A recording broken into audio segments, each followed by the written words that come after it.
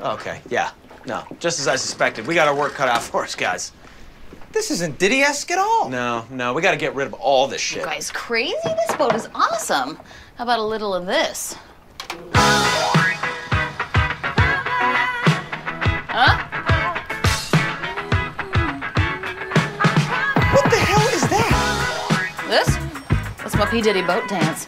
Uh, You look like one of those inflatable dancing things at the used car lot. The ones that flail around in the wind. I don't. I look good. No, Dee, that's exactly what you look like. I, I promise you that's what you look like. You can't dance for shit. I can dance, and you don't know what you're talking about. I'm gonna bring one of those in so you can see it. Okay, why don't you bring the guy in? We'll have a dance competition. I'm We'll gonna be the judge of that contest. I'm gonna There's not gonna be be a the judge of contest. No, stop. Everybody stop. Shut up.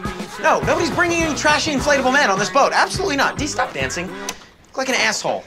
We're not there yet. We have a lot of work to do first.